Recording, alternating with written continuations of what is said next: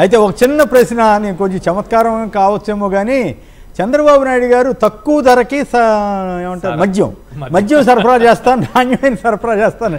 దానికి ఏమన్నా ఒక వర్గం పురుషులు? మేల్ అట్రాక్ట్ అయ్యారా? అందు అందువల్ల కూడా వాళ్ళకి ఏమన్నా ఆ కొద్ది శాతం పెరిగిందా? మీ మీ దృష్టికి ఏమన్నా అది వచ్చిందా? ఎందుకంటే ఒక పత్రిక రాసింది.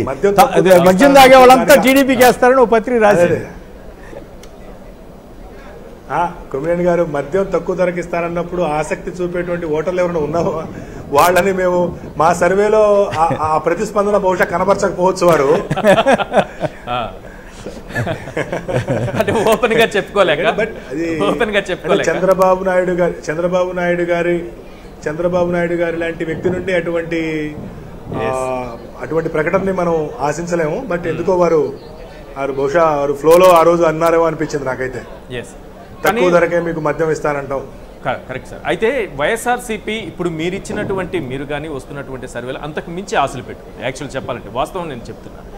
ఎక్కడ తగ్గింది వారికి? ఎందుకంటే టీడీపీ చంద్రబాబు నాయుడు ఇచ్చినటువంటి హామీలు ఆ మేనిఫెస్టో ఏమన్నా పనిచేసింది అనుకోవచ్చా సరే ఒకటి చెప్పారు మీరు. మూడు కూటమిగా రావడం వల్ల కొంత కలిసి వచ్చింది అనేది మేనిఫెస్టో ఏమైనా ఇంపాక్ట్ చూపించింది అనుకుంటున్నారా లేదు ఈశ్వర్ గారు. మేనిఫెస్టో కంటే కూడా మూడు పార్టీలు కలిసి రావడం ఏదైతే ఉందో అది తీవ్రమైనటువంటి ప్రభావం చూపింది తప్పితే చూడండి ఎందుకంటే ఆంధ్రప్రదేశ్ లాంటి రాష్ట్రంలో రెండోసారి అధికారంలోకి రావడం అనేటువంటిదే గొప్ప విషయం. అవును. సీట్లు తగ్గినా కూడా అదే పాత ఓటు బ్యాంకుని కంటిన్యూ చేయడం అనేటువంటిది కూడా గొప్ప విషయమే.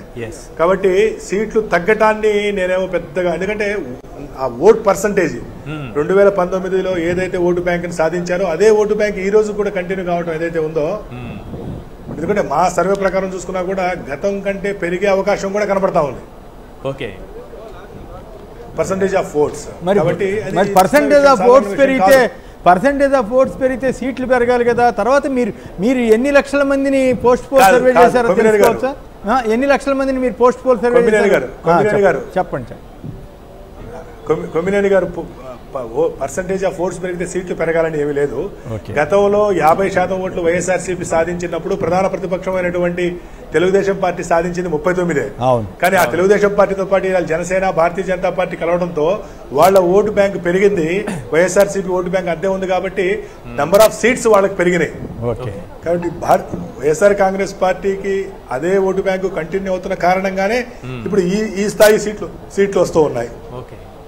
కానీ ఎన్ని శాంపుల్స్ తీసుకున్నారని అడుగుతున్నారు కొమ్మినేని గారు? ఓవరాల్గా అంటే పోస్ట్ పోల్ ఆ తర్వాత మీరు తీసుకుంది ఎగ్జిట్ కొమ్మినేని గారు కొమ్మినేని గారు సహజంగా మీకు తెలుసు ప్ర- ప్రతి ఏడాది సర్వేలు చేస్తూ ఉంటాము. అయితే ఈసారి పోలింగ్ అయిపోయిన తర్వాత మాకు కావాల్సినటువంటి అడక్వేట్ టైం దొరికింది కాబట్టి ప్రతి నియోజకవర్గం నుండి ఐదు వందల శాంపిల్స్ని ప్రతి యాభై బూతుల నుండి సేకరించి సుమారుగా లక్షా పదిహేడు వేల శాంపిల్స్ని సేకరించాము. వాటిలో తొంభై ఎనిమిది వేల శాంపిల్స్కి లెక్కగట్టి ఈ పోస్ట్ పోల్ ఫలితాలు రిలీజ్ చేయడం జరిగింది. అంటే మీరు- ఆంధ్రప్రదేశ్ నుండి. అలాగే తెలంగాణలో కూడా ప్రతి నియోజకవర్గంలో చేశాం. ఎస్ అంటే వైఎస్ఆర్సిపి జగన్మోహన్ రెడ్డి గారు అదే ఓట్ షేర్ని నిలబెట్టుకోవడం వెనుక ఈయనైతే ఖచ్చితంగా చెప్పింది చేస్తారు అనేటటువంటి ఇంప్రెషన్ ఏమైనా ఎక్కువగా కనిపించిందా? ఖచ్చితంగా ఖచ్చితంగా ఉంటుంది. జగన్మోహన్ రెడ్డి గారికి ఆ ఇంప్రెషన్ ఎప్పుడు ఉంటుంది ఈశ్వర్ గారు? ఆ ఇంప్రెషన్ కారణంగానే గత మేనిఫెస్టోతో పోల్చుకున్నప్పుడు ఈ మేనిఫెస్టోలో పెద్ద గొప్పగా హామీలు ఏమి ఇవ్వకపోయినా కూడా ఇదే ఇవ్వకపోయినా కూడా అదే హామీల్ని ఇచ్చినటువంటి మేనిఫెస్టోని నమ్మినటువంటి ఇది అందుకోసమే నమ్మారు. మ్మ్. పార్లమెంటు స్థానాలకు సంబంధించి ఏంటి సార్? ఇది ఎలా ఉంటుంది అనుకుంటున్నారు ఏంటి? దాని గురించి ఒక్కసారి చెప్పండి. మీరే చెప్పండి. పార్లమెంటు స్థానాల్లో కాంగ్రెస్ పార్టీ కారణంగా కొంత నష్టం జరిగింది. అసెంబ్లీలో అసెంబ్లీలో వైఎస్ఆర్ కాంగ్రెస్ పార్టీకి ఓటేసినటువంటి కొద్దిమంది మైనారిటీలు క్రిస్టియన్ ఎస్సీ కొద్దిమంది ఓటర్లు. పార్లమెంట్కి వచ్చేటప్పటికి కాంగ్రెస్ పార్టీకి ఓటు వేసినటువంటి కారణంగా స్వల్ప ఆధిక్యత ఉన్నటువంటి కొన్ని నియోజకవర్గాలు వైఎస్ఆర్సీపీకి నష్టం జరిగింది. లేదంటే వైఎస్ఆర్సీపీకి ఇప్పుడు మేము మా ప్రిడిక్షన్ ఇచ్చినటువంటి పదమూడు పద్నాలుగు కంటే కూడా ఇంకా పెరిగే అవకాశం ఉండేది. ఓకే. ఇప్పుడు ఓవరాల్గా మీరు చెప్పారు అసెంబ్లీ సీట్స్ కూడా పెరిగే అవకాశం ఉంది. కొన్ని టైట్ ఫైట్లు అటు వేయడం వల్ల లేకపోతే బయట ప్రాంతాల నుంచి వచ్చిన వారిని సర్వే చేయకపోవడం. అట్లా కూడా పార్లమెంటు స్థానాల్లో కూడా ఆ మార్పునే ఏమన్నా చూడొచ్చు అంటారా? ఇంకొక పార్లమెంట్ స్థానం పెరిగే అవకాశం ఉంటుంది. ఎస్ ఈశ్వర్ గారు నేను ఇంకొక రెండు మూడు ఛానల్స్కి వెళ్ళాలి. రైట్ మీరు మీరు అనుమతిస్తే నేను నిష్క్రమిస్తాను. Right right thank you. Thank you so much ఇంత సమయం మాకు మా కోసం కేటాయించినందుకు మస్తాన్ గారు. Right right thank you so much yes మనం రమేష్ నాయుడు గారితో మాట్లాడడం మాట్లాడిన తర్వాత మీ దగ్గరికి వస్తాను నేను. రమేష్ నాయుడు గారు. ఎస్ ఆరా మస్తాన్ గారితో మాట్లాడాం. మీరు విన్నారు మీరు ఏదో చెప్తున్నారు సర్వే సంస్థల గురించి. ఎస్ ప్లీజ్ కంటిన్యూ చేయండి. నేను మస్తాన్ తోనే మాట్లాడాలనుకున్నా. సరే మధ్యలో మీరు నాకు ఇవ్వలేదు. మస్తాన్ నాకు మిత్రుడు కలిసి పనిచేసాం ఒకే సంస్థలో. కాదనలేదు. నేను మస్తాన్ మీద నాకు నమ్మకం కూడా ఉంది. అయితే ఆ అంచనాలు ఒక్కొక్కసారి తప్పుతాయి. ఆ అంచనాలు మొదటిసారి నా మిత్రుడు తప్పుతున్నాడు అనేటువంటి భావన నాకు మీకు అనుకూలంగా వచ్చుంటే ఖచ్చితంగా మిత్రుడు మంచోడయ్యావాడా నేను వేరే కన్నా. మంచి చెడు ఏముండదు. అక్కడ ఉన్నటువంటి మేము ముగ్గురు కూడా నాకు మిత్రులే. ఆ, శ్రేయోభిలాషులే. దానికి అది వేరు. భిన్నాభిప్రాయాలు ఉండడం వేరు అంచనాలు తప్పడం వేరు అనుకున్నది రాకపోవడం వేరు. మనం అను నేను అనుకున్నది కూడా రాకపోవచ్చేమో. ఓకే కాదు కాకపోతే నేను చెప్పేది ఏంటంటే ఇప్పుడున్నటువంటి రాష్ట్రంలో జరిగినటువంటి ఎన్నికల్లో నేను కూడా చాలా క్రియాశీలకంగా మీడియా పరంగా లేకపోతే నాగార్జున కూడా తన పార్టీ తరఫున పనిచేసింటారు. నాకు అనిపించేటువంటి రెండు మూడు భావనలు ఏవైతే ఉన్నాయో అవి జగన్మోహన్ రెడ్డి గారిని దెబ్బతీసాయనేటువంటి భావన. ఒకటి తొలితరం ఓటర్ ఎవరైతే ఉన్నారో వాళ్ళందరూ కూడా దూరం అయ్యారు పాయింట్స్ తర్వాత ఎంప్లాయీస్ ఎవరైతే ఉన్నారో వాళ్ళందరూ కూడా దూరం అయ్యారు అదే సమయంలో తన పార్టీకి మూలాలు అనుకునేటువంటి వాళ్ళు ఏవైతే ఉన్నాయో ఆ యొక్క ట్రెడిషనల్ ఓటు దెబ్బతిరింది ఈ ఒక్కసారి. దాంట్లో ఉదాహరణ ఏంటంటే సోదరుడు చెప్పాడు ఎమ్మెల్యేకి వచ్చేటప్పటికి వైఎస్ఆర్ సిపికి వేశారు ఎంపీకి వచ్చేటప్పటికి కాంగ్రెస్కి వేశారు అని చెప్పాడు. ఎవరు? క్రిస్టియన్స్ కావచ్చు మైనార్టీస్ అవును. ఇది ఒక రకంగా మీరు అర్థం చేసుకోవాలి. ఎక్కడో జగన్మోహన్ రెడ్డి గారి యొక్క మూలాలు దెబ్బతిన్నాయి. ఇది ఒక అండర్లైన్ ఈ పాయింట్. మనం మళ్ళా రేపు ఎలక్షన్ రిజల్ట్స్ రోజు కూడా కూర్చుంటాం మాట్లాడుకుంటాం ప్రత్యక్షంగా. నేను కాదను కానీ ఆంధ్రప్రదేశ్లో జరిగినటువంటి పరిణామాలు చూసినట్లయితే ఒక పార్టీ వైఎస్ఆర్సీపీ బలమైనటువంటి ప్రతిపక్షంగా ఉంటుంది. ఎందుకంటే వీకర్ సెక్షన్స్ గతంలో ఏ విధంగా అయితే సమర్థించారో ఒక ten ten percent plus or minus ఇప్పటికి కూడా బలంగానే ఉంది అనే నేను కూడా ప్రత్యక్షంగా చూశాను. కాకపోతే మీరు మీరైనా సరే మీరైనా సరే నాగార్జున యాదవ్ గారైనా సరే ఇద్దరు చెప్పేది మీ యొక్క అంచనాలు మాత్రమే. నేను వారిని కూడా అదే అడిగాడు మీరు డాక్టరా లేకపోతే సెఫాలజిస్ట్ అని కూడా అడిగాను. నాడి పట్టి చూసి చెప్పడానికని. నేను మిమ్మల్ని కూడా అడుగు మీది కూడా అంచనానే. అంతే కదా? కానీ ఒక సెఫాలజిస్ట్ ఒక సెఫాలజిస్ట్ అంటే ఓకే.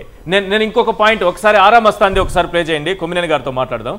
ఎస్ ఆరా మస్తాంది ఒక్కసారి ఆ సర్వే రిపోర్ట్ చూస్తే చాలా క్లియర్గా వన్ నాట్ ఎంత ఇచ్చారు సార్? ఒక్కసారి ఆరా మస్తాన్ వన్ నాట్ ఫోర్ వరకు ఇచ్చారు. వన్ నాట్ ఫోర్ వరకు 90, ఇచ్చారు. 97 ఇక్కడ ప్రధానమైన అంశం ఏంటంటే ఇందులో నేను చెప్పాలనుకున్నది రెండు రెండు కీలకమైన అంశాలు వారు ప్రస్తావించారు. మీకు బాగా అనుభవం ఉంటుంది సార్ మీరే మాట్లాడారు.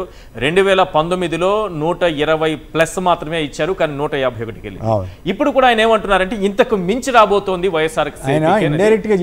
రెండు రెండు రెండు అంశాలు చాలా కీలకంగా కరెక్ట్ ఆయన ఇండైరెక్ట్గా చెప్పారు.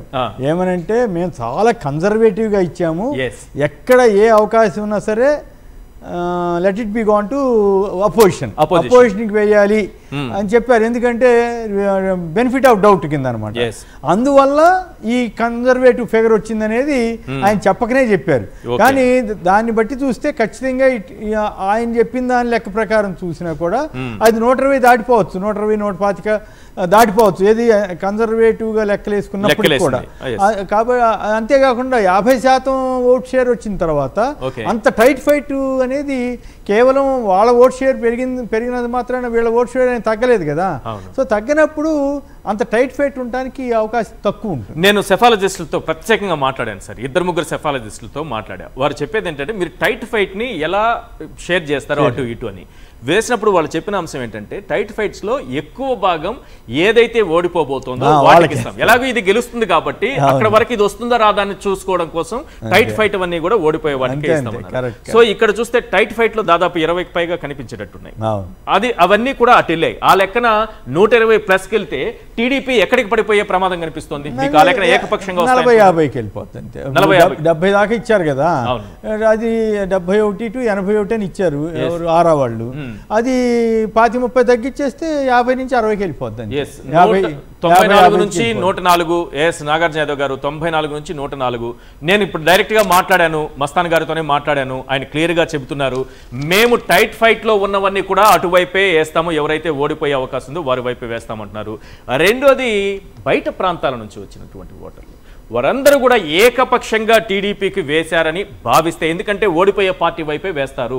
సెఫాలజిస్టులు నేను ప్రత్యేకంగా మాట్లాడాను. నాకు తెలిసిన సెఫాలజిస్టులు అందరితో మాట్లాడాను. వారు అదే చెప్తారు. సర్వే చేయనప్పుడు ఏమంటే ఏ పార్టీ అయితే దిగువన ఉంటుందో ఏదైతే అధికారంలోకి వచ్చే అవకాశం లేదో వాళ్ళ వైపు ఎక్కువగా వేసి చూపిస్తారని. ఇవన్నీ వేసినా ఎనభై ఒకటి దగ్గర ఆగుతోంది. ఆ లెక్కన చూస్తే వన్ నాట్ ఫోర్ దాటుకుని ముందుకెళ్ళిపోబోతున్నారా మీరు? సార్ మళ్ళీ ఒకసారి కూడా మీ అందరికీ తెలియజేస్తున్నా. సహజంగా క్రికెట్లో కూడా బెనిఫిట్ ఆఫ్ డౌట్ ఒకటి ఉంటుందండి. Yes. ఎప్పుడన్నా బ్యాట్స్మెన్ అవుట్ అయ్యాడా అవుట్ అవ్వలేదా అని అంటే అది ఫేవర్గా బ్యాట్స్మెన్కి ఇస్తారు. ఎందుకంటే బౌలర్కి మరొక అవకాశం ఉంటుంది కాబట్టి. అలానే ఇప్పుడు ఆ రోజులు పోయినాయి. ఇప్పుడు అంతా థర్డ్ ఎంపైర్ టీవీ థర్డ్ ఎంపైర్లో వచ్చినప్పుడు కూడా బెనిఫిట్ ఆఫ్ డౌట్ ఎప్పుడైనా కంక్లూజివ్ ఎవిడెన్స్ లేనప్పుడు ఖచ్చితంగా అప్పుడు ఏం చేస్తారంటే బ్యాట్స్మెన్ కే అటువంటిది ఇస్తారు కాబట్టి సహజంగా పో- ఎవరైతే సైఫాలజిస్టులు ఉంటారో వీళ్ళందరూ ఎప్పుడైతే ఆ కంక్లూజివ్ ఎవిడెన్స్ లేనప్పుడు సహజంగా ప్రతిపక్ష పార్టీకి ఇస్తారు. బెనిఫిట్ ఆఫ్ డౌట్ అనేది ఖచ్చితంగా ప్రతిపక్ష పార్టీకి ఇచ్చినప్పుడు కాబట్టి వాళ్ళకి ఏదైనా అవుతుంది కాబట్టి నేను మళ్ళీ చెబుతున్నా. ఫిఫ్టీ పర్సెంట్కి మేము టెన్ పర్సెంట్ పైకి ఉంటాం. మరొకటి కూడా వారు ఏదో చెప్తున్నారు గవర్నమెంట్ ఎంప్లాయీస్కి సార్ అలా అలా చెప్పాలని చాలా కాన్ఫిడెన్స్ కావాలి. చాలా కాన్ఫిడెన్స్ సిక్స్టీ పర్సెంట్ ఎలాంటి మామూలు విషయం మేము ఫిఫ్టీ పర్సెంట్ ఫిఫ్టీ ప్లస్ అంటే మీరు fifty one fifty two fifty three దగ్గరకు వచ్చారనుకోండి యాభై పర్సెంట్కి ఫిఫ్టీ పర్సెంట్కి ఎలక్షన్లో తెచ్చుకున్నటువంటి రాజకీయ పార్టీ బహుశా ఆంధ్రప్రదేశ్ రాష్ట్రంలో జగన్మోహన్ రెడ్డి గారు తప్పితే అంతకుముందు ఎవరు తెచ్చుకోలేదు. లేదు, ఒకవేళ తెచ్చుకుంటే బై కరెక్షన్ మీరు చేయాలి. ఆ రోజు ఫిఫ్టీ పర్సెంట్ జగన్మోహన్ రెడ్డి గారు చెప్తే చాలా మంది నిజంగా ఫిఫ్టీ పర్సెంట్ వచ్చిద్దా అనేటువంటి పరిస్థితిలో ఉంది. ఈ రోజు చెప్తున్నాం. ఖచ్చితంగా ఫిఫ్టీ పర్సెంట్ నుంచి మేము సిక్స్టీ పర్సెంట్కి వెళ్తున్నాం. మరొకటి గవర్నమెంట్ ఎంప్లాయీస్కి సంబంధించి. గవర్నమెంట్ ఎంప్లాయీస్కి సంబంధించి కూడా మాకు సిక్స్టీ పర్సెంట్ ఓట్ బ్యాంక్ వస్తుంది. మీరు ఎవ్వరు దిగులు పడకండి మీరు అందరూ బ్యాలెట్ బాక్సులు ఓపెన్ చేసిన తర్వాత ఖచ్చితంగా చంద్రబాబు నాయుడు గారికి గవర్నమెంట్ ఎంప్లాయీస్ ఓట్లు వేసేంత పిచ్చోళ్ళు అయితే కాదు నేను చాలా మంది ఎందుకంటే నా కుటుంబం కూడా గవర్నమెంట్ గవర్నమెంట్ ఎంప్లాయీస్ ఫ్యామిలీ కుటుంబం ఉంది కాబట్టి అక్కడ వాళ్ళకి సంబంధించినటువంటి విషయాలన్నీ నాకు తెలుసు కాబట్టి ఖచ్చితంగా గవర్నమెంట్ ఎంప్లాయీస్కి సంబంధించి మూడు లక్షల ఒక వెయ్యి ఇరవై ఒక్క మందికి వైఎస్ఆర్ కాంగ్రెస్ పార్టీ వచ్చిన తర్వాత శాలరీస్ పెంచారు.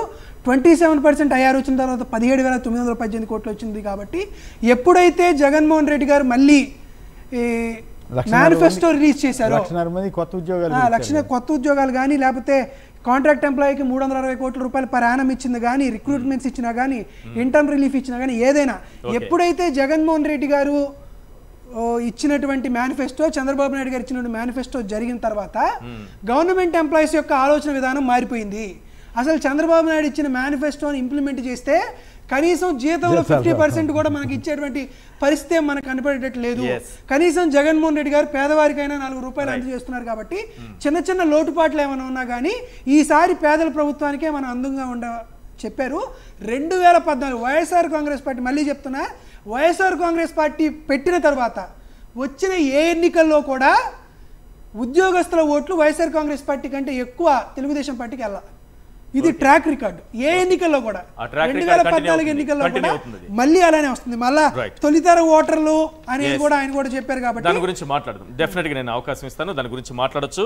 లోక్సభ ఎన్నికలకు సంబంధించినటువంటి కొన్ని ఎగ్జిట్ పోల్ సర్వే సంస్థలు ఇచ్చే ఇచ్చినటువంటి సర్వే అంచనాలను నేను ఇప్పుడు చదివి వినిపించబోతున్నాను. ఎన్డీఏ ఇండియా కూటమికి సంబంధించి ఏ రకంగా ఉందనేది. ఎస్ నా రమేష్ నాయుడు గారు చాలా ఆసక్తిగా వినాల్సినటువంటి అవసరం ఉంది. మీరు కూడా సమాధానం చెప్పాలి దీనికి సంబంధించి. ఎందుకంటే ఆరా మస్తాన్ సర్వే కానీ ఇతర సర్వేలు కానీ వైఎస్ఆర్సీపీకి అనుకూలంగా వచ్చినప్పుడు మీరు లేదు ఈ ఫలితాలకు భిన్నంగా ఉంటుందని అన్నారు కాబట్టి నేను చెప్తున్నా. Republic P mark. ఎన్డీఏ మూడు వందల యాభై తొమ్మిది ఇండియా కూటమి నూట యాభై నాలుగు. ఇండియా న్యూస్ డి డైనమిక్స్ మూడు వందల డెబ్బై ఒకటి ఎన్డీఏ నూట ఇరవై ఐదు ఇండియా. రిపబ్లిక్ భారత్ మ్యాట్రిజ్ మూడు వందల యాభై మూడు నుంచి మూడు వందల అరవై ఎనిమిది ఎన్డీఏ నూట పద్దెనిమిది నుంచి నూట ముప్పై ఏడు ఇండియా. జన్ కీ బాత్ మూడు వందల అరవై రెండు నుంచి మూడు వందల తొంభై రెండు ఎన్డీఏ నూట నలభై ఒకటి నుంచి నూట అరవై ఒకటి ఇండియా. న్యూస్ నేషన్ మూడు వందల నలభై నుంచి మూడు వందల డెబ్బై ఎనిమిది ఎన్డీఏ నూట యాభై మూడు నుంచి నూట అరవై తొమ్మిది ఇండియా అనేది చాలా క్లియర్గా తేల్చింది. ఎన్డీటీవీ కూడా ఒకసారి చూద్దాం ఏ రకంగా ఇచ్చిందనేది. India Today Axis My India ఇప్పటి వరకు ప్రకటించిన నూట ఎనభై ఒకటి అయితే ఎన్డీఏ నూట రెండు నుంచి అంటే నూట ఎనభై ఒకటి ప్రకటించినటువంటి స్థానాలకు సంబంధించి ఎన్డీఏ నూట రెండు నుంచి నూట పదహారు ఇండియా అరవై నాలుగు నుంచి అరవై ఏడు స్థానాలు ఇతరులు సున్నా నుంచి నాలుగు స్థానాలు అనేది క్లియర్గా తెలిసింది. అలాగే రిపబ్లిక్ టీవీ మ్యాట్రిజ్ ఇది ఎన్డీఏ మూడు వందల యాభై నాలుగు ఇండియా నూట యాభై మూడు ఇతరులు ముప్పై మొత్తం ఐదు వందల నలభై మూడు స్థానాలకు రిపబ్లిక్ టీవీ మ్యాట్రేజ్ ప్రకటించడం జరిగింది.